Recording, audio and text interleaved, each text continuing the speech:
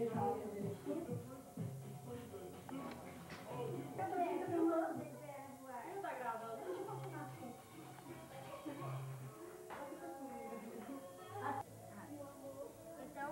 um pouquinho da nossa surpresa. E vamos para mais um comercial. Valeu, meu amor.